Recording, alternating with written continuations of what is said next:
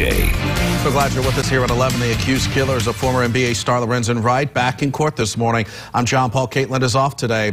Now, at the last hearing, attorneys for the prime suspect in the murder of Memphis basketball star Lorenzen Wright requested an outside jury for her trial. Local 24 News reporter Janae Francine live outside 201 Poplar with a look at what happened in court today. Janae.